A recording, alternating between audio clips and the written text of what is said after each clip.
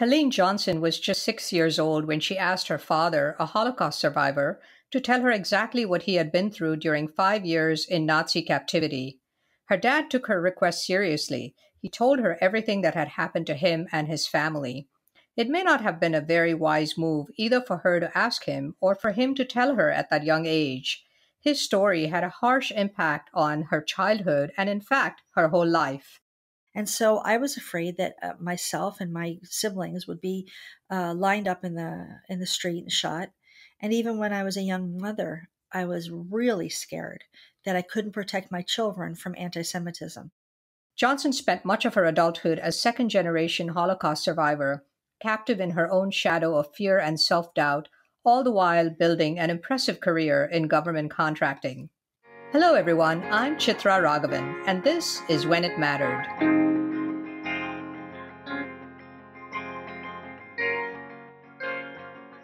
This episode is brought to you by Good Story, an advisory firm helping technology startups find their narrative.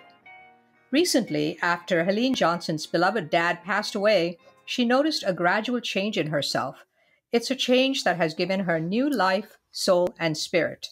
Here to tell us more about what happened is Helene Johnson. She's president and CEO of Bid2Win, a Washington, D.C. area consulting firm that's helping companies bid for and win federal contracts. Helene, welcome to the podcast. Hi, thank you. It's nice to be here. You were born in Baltimore, Maryland, and you were the youngest of three kids. You were raised in a culturally Jewish family. You attended public schools, and you had a tough time. Tell me a little bit about those days. Yes, it was tough. When I was in elementary school, and I was teased a lot, uh, actually bullied, and it was for two things. One, I had an unusually large nose, and I was teased a lot about, you know, they called me all these names like schnoz or big nose or hook nose or banana nose, and they really butchered my self esteem.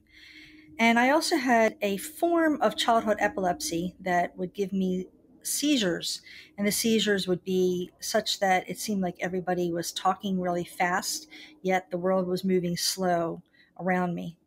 And I had to call my mother, and my mother was the only one that knew how to talk in such a way to slow my mind down so it could catch up with everything else.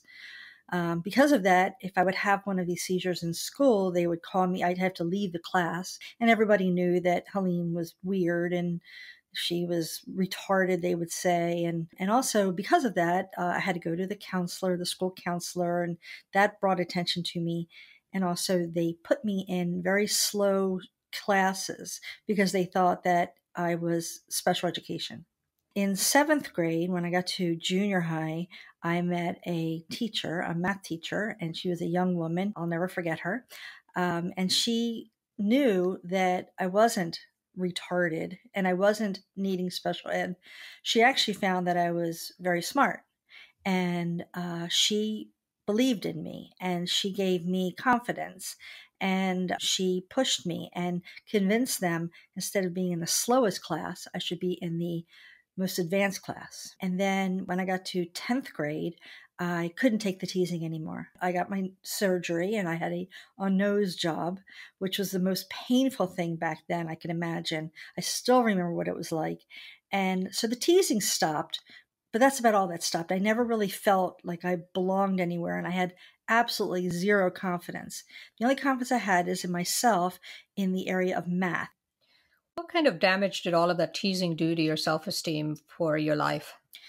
I've always been afraid that I've said or done the wrong thing. Always. And I've always second guessed myself. And the other day someone told me that when I was about 40 years old, I was in I was a deputy CIO in the government and I was told that I, I scared people because I was so tough. You know, I just said what I thought. It was my way or no way. Um, I remember telling my staff, don't drop a ball. Uh, whatever you do, don't drop a ball. I mean, I was intense and I was scary. And the reason I was intense and scary is because I had complete doubt in myself. And I've always been this way and I've always second guessed myself. And what about your physical self esteem? Did you ever get over it? No. When I look in the mirror, I see uh, a, a, woman, because I'm all grown now, with a big nose and um, which is not the case. Well, it's not the case, but I see it. I look at myself as the way I looked when I was in seventh and eighth grade and I was teased and I was picked on. I don't see the new me. People tell me, "Oh, you're such an attractive woman." I don't see it. I see the Helene that I that I that I saw when I was young. Now, how did your parents help you deal with this, especially your dad? I'm sure he thought you were beautiful. You were daddy's little girl. How Mhm. did he help you? He had unconditional love for me. I mean, my dad, my dad would look at me with with st- stars in his eyes. I mean, he he always told me he was proud of me. Always told me I was beautiful. He believed in me, and he just kept. He always told me that I was his baby and I was special. And we had we had Friday nights where we would go to synagogue together and we would sing Fiddler on the Roof songs and we would have our date. And he was so handsome. My dad was so handsome, and I looked like my dad. So I always thought, well, I can't be that bad looking because I look like my dad and he's he's pretty ha- handsome. So he he just gave me unconditional love and he always believed in me and I was always in his eyes till the day he died. I was his baby and I was his little girl. And that um I miss that a lot. So, your dad met your mom here in the US, but he was originally a Holocaust survivor. Tell me his name and tell me a little bit about him and his family and what they went through during the Holocaust. My dad's name is Ruben Steyer. Um, he is very um, famous in the Baltimore area and he's all over the internet and he has spoken to Shoah. He has spoken, he's on video and DVDs. And my dad was just amazing. His family, he was the middle child of five children. Uh, his brother, Sam, is still alive and he lives in Miami, or actually somewhere in Fort Lauderdale, maybe. And he's probably 97 or 98. And he's definitely, you know, his health is impacted now, but, uh, but he looks a lot like my dad. And when I hear him on the phone, when I hear him on the phone, it just brings back my dad. Your dad Um, was from Poland. Yes, my dad was from Poland, from Klubitz, Poland, which is a fishing town. Um, he has he had a sister, um, Gussie, who actually found him in the camps and saved his life. How many Um, kids how many kids does he, they were there? there were five? So and then the the uh, youngest son and the youngest two girls they were killed by the Germans. Um, I think his brother was taken and his sisters were hidden by nuns, and the nuns turned them in. So they were killed. And of course, his parents were killed by the Germans. So he had a, he was in school until sixth grade. So uh, my dad had very little formal education. He had an amazing mind when it came to math. He was very strong in math, uh, very strong in the stock exchange and finance and all of that. How old was he when he was taken? He was 11 when he was taken, and he was liberated, I think 17. So it was like that, you know, four or five years of uh, being in forced labor camps. Uh, how did your sister find him? His sister. His sister. He um he wound up in the last camp he was in was when the British came in and liberated the camps, and my aunt was actually in that camp. He was almost dead. I mean, he had typhus or tuberculosis. One of I think it's typhus. Um, he weighed like probably fifty pounds, um, and he was close to dead. And one of her friends was out and uh, recognized my dad and told his sister. They went and got my father and they hid him in the women's camp. And they, they would just surround him with their bodies so that when no one would find him because they would let people like that die because my dad was almost dead. And so basically they nursed him as well as they could back to health. And then when the British came, they put him in a hospital and brought him back to life. And how did he come to the U.S.? His brother um, actually put his brother and his sister both got married in Germany after the war, and then his brother was able to get him passage to America. He lied about his birthday, which means we've never known really how old my dad is, nor do we know really when his birthday was because he had three birthdays. Um, and that's just a lot of them. A lot of folks that came from Europe had many birthdays because they made their age whatever would work for them because there was no birth certificates or anything like that back then. The Germans made sure to get rid of all of that. And and he made a life for himself here. What did he do, and how did he recover from the trauma of being in Nazi captivity throughout the war? He actually, when he came here, he didn't know any English and he didn't have any money. The Associated Jewish Charities in Baltimore would take care of Holocaust survivors. Um, and they helped him find his first job, which was sweeping floors at a textile company. And my father was a self made man. He did not believe in charity. And as a matter of fact, he got to a point where he would have gotten more money if he would have just taken the money from the charity versus sweeping the floors at the textile company. And he said, I'm not taking charity. So he started sweeping floors, and in the end of his career, he was the top salesman for that same company, and he was uh, amazing at selling textiles and sheets and towels and stuff. You asked how he recovered from being in the Holocaust. Um, I don't know that my father ever recovered from being in the Holocaust. There are two types of survivors there are those that say nothing, and there are those that don't stop talking about it. His idea was to not stop talking about it because he believed, and he's right, that it can happen again. And if you don't talk about it and you don't keep reminding people and teaching people about it, then the same thing can happen again. We can get another Hitler. They can try to kill us off again because that was the whole idea was to uh, Hitler wanted to exterminate um, the Jewish race. So uh, he also very much believed in the state of Israel because he felt that if the state of Israel does not exist, then we have no place to run. And if it happens again, we need to go somewhere where we're safe. And the safest place to go for the Jewish people is Israel. And there's no way to hide that you're Jewish. I mean, I used to try to hide that I was Jewish, and you can't hide it. You know, they there's just no way. He never really got over it. As a matter of fact, in his later days, um, he really had a hard time with it because he was struggling with dementia, but he was also struggling with the fact that he knew he wasn't going to live much longer, and he wanted to make sure that it wouldn't be forgotten. Now, when you were six, you decided to ask him what had happened to him. Why did you make the decision, and what did you say to him, and what did he say to you? Tell me that story. My dad was hurting. I mean, even at six years old, we're pretty intuitive. Kids are intuitive. And I could tell that he was hurting. I could tell that he was upset and he was um, angry. He had a temper to him, and that, you know, he was just totally wasn't happy he wasn't a happy man, if you will. And I remember sitting down with him saying one day, Well, why don't you ever talk about it? And he said, Nobody wants to hear about it. And I said, I want to hear about it. And he told me about it. And he told me, unfortunately, the details that maybe you don't need to tell a six year old. My clearest memory is him telling me how they would line up the Jewish children in the street and just shoot them down, or they would throw babies up in the air and use them for target practice. And he saw all that. And so I was afraid that uh, myself and my siblings would be uh, lined up in the in the street and shot. And even when I was a young mother, I was really scared that I couldn't protect my children from anti Semitism. And their last name was Epstein, which is very Jewish name and I couldn't protect them. I, if it would happen again, how would I be able to keep them from being lined up and shot? And I just couldn't. I could not get over this. I could not get over the fear and the anger that I had to be different from everybody else, and my kids had to be different from everybody else because they were Jewish. Looking back, do you wish you had not asked him at that young an age? Yes and no yes, I wish I hadn't have asked him because I probably didn't need that amount of detail. But no, because he had to get it out. And then once he started talking about it, then he didn't stop talking about it for the next 60 years.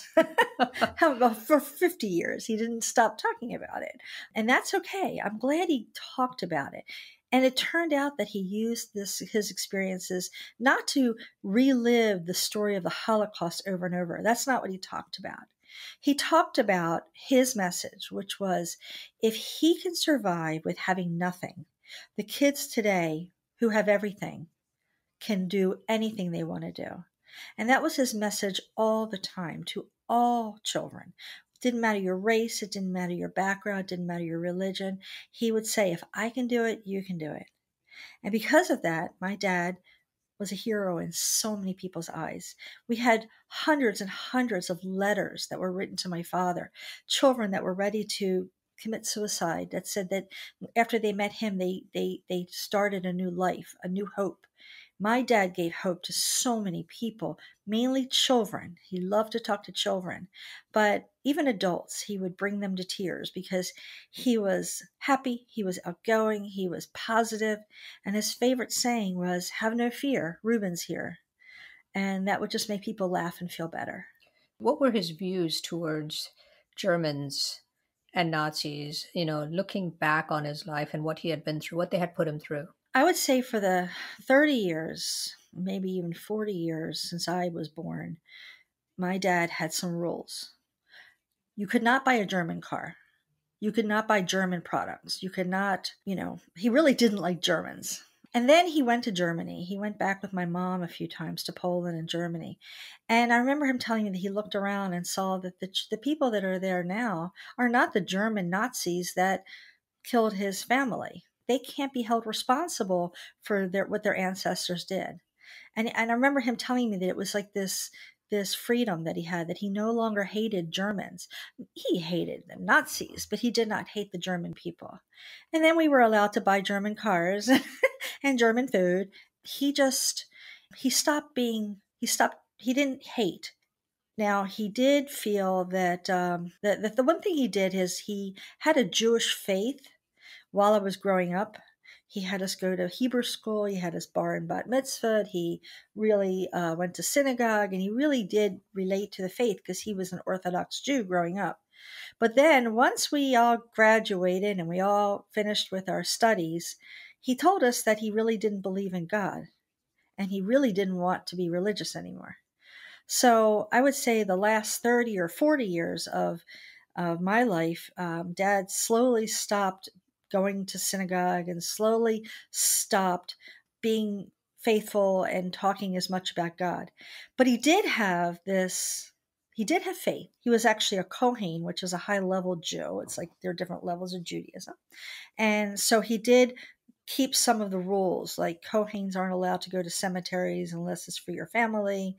Uh, when a baby is when a baby boy is born, Kohens could do a ceremony um, which was called a Pidyon Ben, and he did those. So he did still have Judaism, and he would still pray, like sing the songs of our prayers, and he still, you know, but he really had a hard time, mostly with Passover, because Passover tells the story of when the Jews were exiled out of Egypt really hard time with that holiday because every year he'd say it.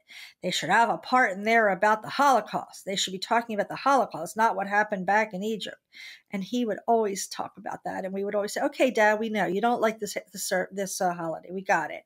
But he'd go, "No," and he would just he wouldn't let it go. So I'd say the older he got, the less religious he was, but he was still traditionally Jewish and he still you know he still knew yiddish and he still knew hebrew and he still he was a zaidi which is a jewish grandfather and um, he still had a lot of judaism in him but he did question the existence of god because he said if there was a god how could god let this happen? And and as he got older he just couldn't let that go and no matter what anyone said he would argue with them that you know the same story. Why why would God let innocent children be killed because just because they were Jewish? Now his story had a kept a weight on you for many many decades even. Talk about the impact on your life and on your career and who you were as a person and how it kind of darkened your life. Um yeah, I have a lot of fears, mainly a fear of it happening again. And fear of terrorism you know when 9-11 happened you know it was terribly scary for everybody um, but i had little children and i had to be brave for them but in my heart of hearts it was just it made me extremely afraid to be in crowds. I'm afraid to go on the metro which would have been nice today for work, but I just can't do it. It's I can't take being closed in and not having any chance to escape. When I go into stadiums or concerts or even the movie theater, I have to look for the exit and I have to know that there's a way to escape. So I think what it's done for me is it's always giving me that fear of um, the need to know that I can escape. To this day, I cannot go into a synagogue on the Jewish holidays. I did when my kids were little and I was freaked out totally every time. And my ex husband, their, their, father, would know that, and uh, he would just try to keep me calm. Now I've uh, I've accepted my fear, and his synagogue now has a, a live streaming. And so this year was the first year I got to participate in a, in the Jewish holidays. I did it in my family room. And it was amazing. And I'm just so grateful that they had that because I could feel part of it and I didn't have to hide from the holidays. And now I know that I could always participate. But it's given me many fears and those fears are not gone. I, I'm not going to lie to you and say that since he's passed, I now can go to things. But the one fear that I've had is the fear of being in crowds. And for my field, that is detrimental. And and tell tell us a little bit about what you do and how that's impacted what you do. Well, I am a consultant and I am a strategist and I help people win new business in the federal market. Well, to do that, it's all about two things. One is being strategic and having intuition and knowing your competition and how you can make your com- the company that you're supporting uh, stand out. So it's all about branding and strategy. But the other thing is, it's all about relationships. And uh, you have to have those relationships, both in industry and in the government. Well, the only way to get those relationships is to be around the people. And the only way to be around the people is to be where they are. Well, you can do one on one lunches and gain a lot of weight, or you can go to these networking things. And networking things are parties, or they are uh, meetings, or they are conferences. And I just hated it. And I did it I went, but I stood against a wall. And I had friends who knew about my fears of crowds and my insecurities about just going over and making small talk. And they would go with me to conferences and they would just, I would trail them. And most people didn't know it, but I knew it. And now I can't build a company and grow my company without having relationships. And I couldn't do it well through one on one because it's just it's too hard to do that and some of my friends are no longer in business so i don't have those brave people that would run run uh, point for me in the front so i have to do it myself and that's where i was up until i lost my father. Which was when?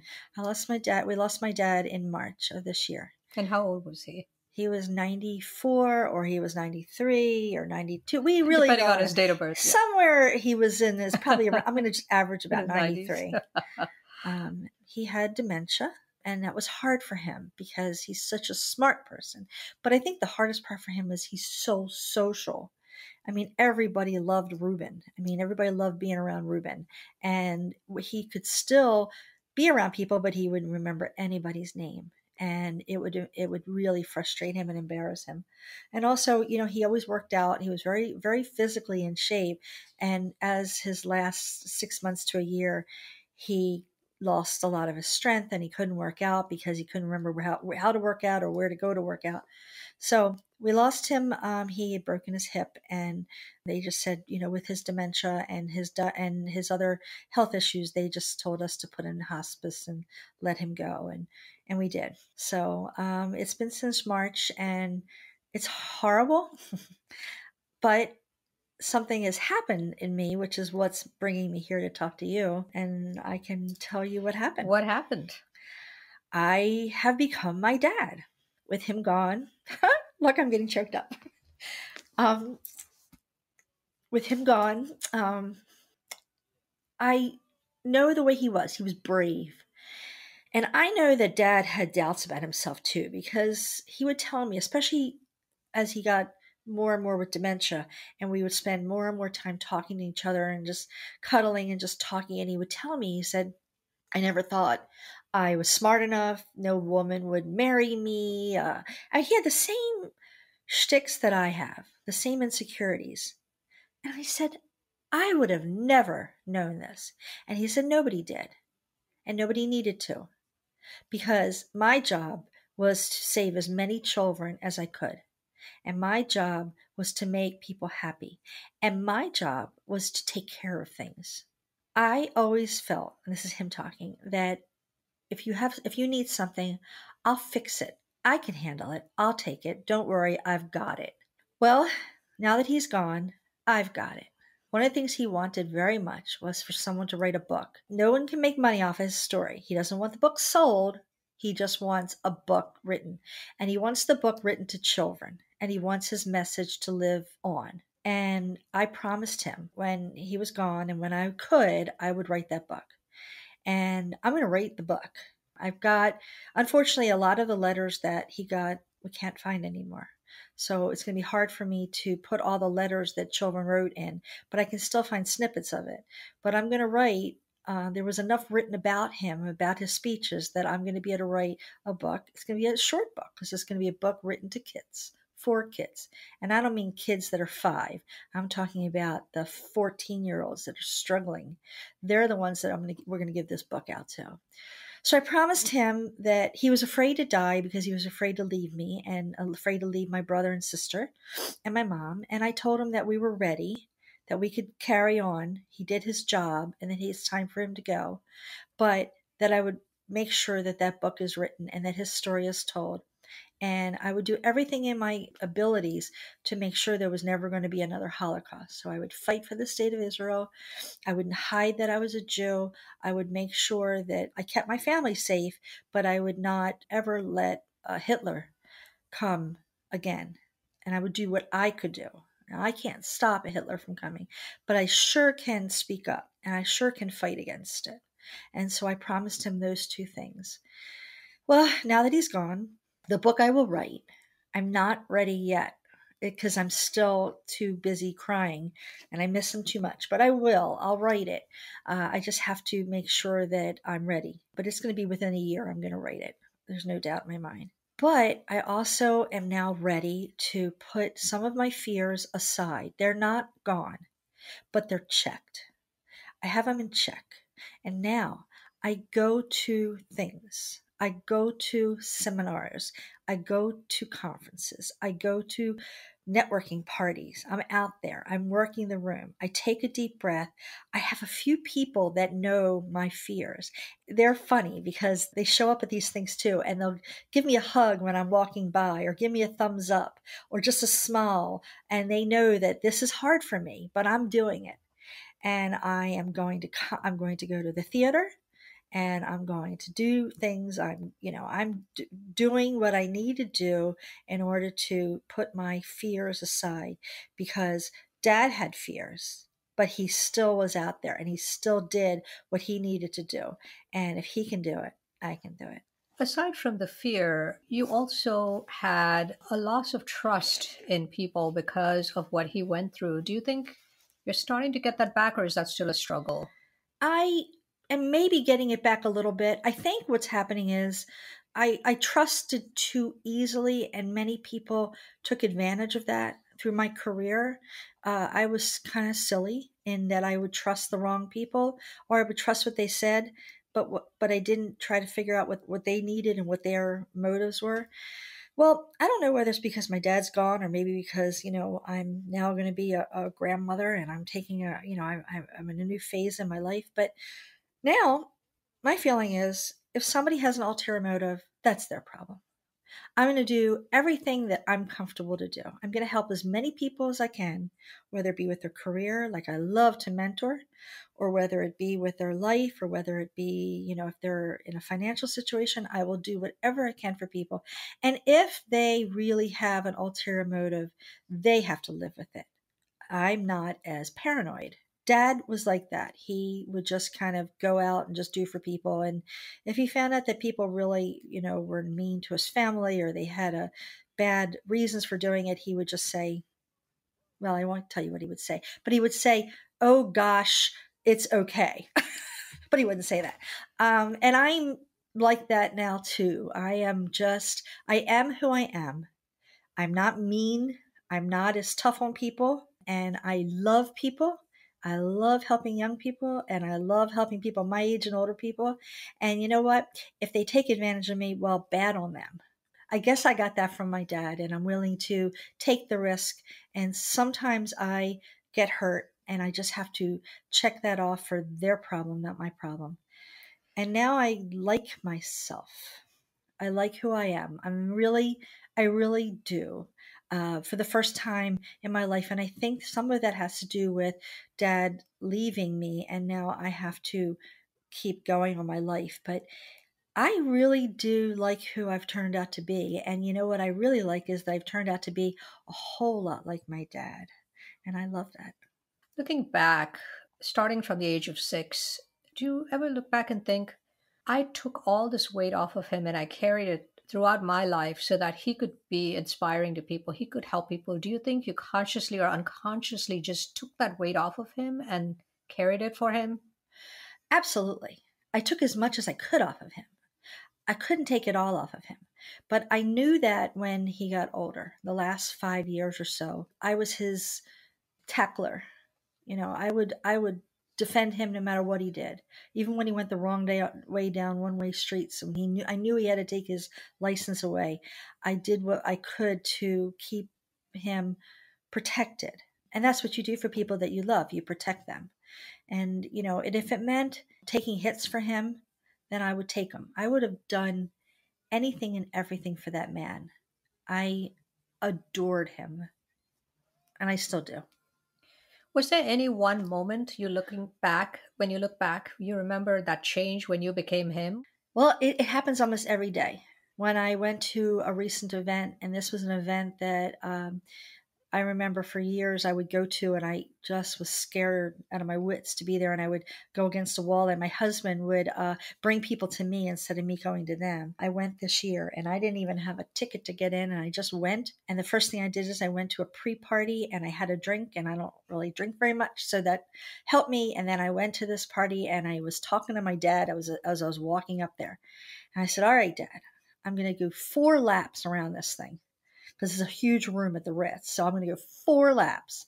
And in those four laps, I want to talk to as many people as I can. And after those four laps, I'm going to get out of Dodge. But I'll do those four laps. And that equate to you know about two hours. And I did it. And when I was walking out, I went, Oh, I so did it. And if you were here, you'd give me one of those huge smiles of yours. You'd hug me and tell me how proud of you were and I was, I was dad there. I was walking around talking to people and just making people laugh because that's all dad ever did. He made everybody laugh. And I was just cutting it up there. And I had pictures taken of me with people that, and, you know, goofy pictures. And I was laughing and I was smiling. And the whole time I was there, I wasn't scared. I wasn't nervous. I wasn't insecure because I was comfortable. I was being the way my dad was. Um, other times, uh, very recently, I had lunch with a friend and we went to a restaurant and I started joking around with the people who worked there. And I said, Oh, I really like your wreath. Where'd you get it? You know, and I'm like, just having a, a blast with the people that worked there and they smiled and laughed and they felt good. That's what my dad used to do. He would just joke around with everybody. It doesn't matter. The first thing he'd say when they came up to him later in his years is, Can I get you a drink? And he'd say, I want a bucket of water but he had a strong Polish accent, so they never understood what he meant. but they would laugh anyway. Or he would flirt. My dad was a big flirt. And He would flirt with all the women and um, he would joke with all the guys. And I'm doing that now. And it was funny because when I when he would do it, I'd be like, "Oh, Dad, would you stop?" And now I'm doing, it, and I kind of can see why he liked it because it loosens everybody up and it just it makes light of life. So that's what I, I'm just seeing there's not one thing that's happening, but it's happening more and more. And I'm taking more and more risks, taking more and more opportunities to get out of my comfort zone. And when I'm doing that, I'm just the kind of person that dad would be, just full of life and happiness and just making everybody at ease and smile. And that's what dad was like. And that's what I'm doing now. And you know what? It's really fun. And it really takes a lot of the pressure off of life. Looking back, what would you say to your former self, that six year old girl, you know, who asked her father to tell her his story, or that girl who got teased in school about her nose, and the young professional making headway in her career, and now the seasoned leader looking back on, on life? Uh, what would I tell myself? I would say give myself a break. You know, stop stop beating yourself up so much. Stop feeling so bad about yourself that you make everybody around you feel bad about themselves. Stop putting people down and make yourself feel better because it doesn't make you feel better. Just because you're insecure doesn't and then you beat beat people down, that doesn't help you. That actually makes them afraid of you. So, I don't know what I would tell my 6-year-old self because you know, it's been a long time since I've been six. I think I would have done the same thing because I loved my dad and he was hurting. Maybe I wish I hadn't heard such detail, but it is what it is. You can't undo that. But now, now, when I have my grandchildren, I'm not going to burden them with this heavy stuff. I'm not going to sit my six year old granddaughter down and say, you know, your father, grandfather, your Z- uh, great Zadie was in the Holocaust, and you're, you know, you could be in the Holocaust. I won't do that because it's just, there's no reason for that. You know we are adults. We have to protect our our family our children and we should not burden our children with the heavy burdens of life. So i guess i'm looking at it now saying i couldn't can't undo what happened to me. I can't change the fact that i did. I had a big nose and it looked like i was eating it it was a big nose and i'm glad i got it fixed at 15 shoot i would like to get it fixed now but um, just because i can't breathe out of it but i'm not i'm not doing it because it was a very painful surgery now i look in the mirror and I'm okay. You know, I think I look pretty good for my age, and um, I got a husband who looks at me and just melts. Um, so I must be doing okay there. And I have the three of the most amazing daughters in the world, and two, one son-in-law to be, and one son-in-law, and uh, and I am just over the top lucky. Ready for life. I am ready for life, and I'm ready for that little that little granddaughter of mine to come and and start my new life of being a bubby, which is Yiddish for grandma. Helene, wonderful conversation. Thank you so much for joining me. You're welcome. I really enjoyed it. Helene Johnson is a second generation Holocaust survivor. She's president and CEO of Bid2Win, a Washington, D.C. area consulting firm helping clients bid for and win federal contracts. This is When It Mattered, and I'm Chitra Ragavan. Thank you for listening to When It Mattered. Don't forget to subscribe on Apple Podcasts or your preferred podcast platform. And if you like the show, please rate it five stars, leave a review, and do recommend it to your friends, family, and colleagues. When It Mattered is a weekly leadership podcast produced by Good Story, an advisory firm helping technology startups find their narrative. For questions, comments, and transcripts, please visit our website at goodstory.io or send us an email at podcast at goodstory.io. Our producer is Jeremy Corr, founder and CEO of Executive Podcasting Solutions. Our theme song is composed by Jack Yeagerline. Join us next week for another edition of When It Mattered. I'll see you then.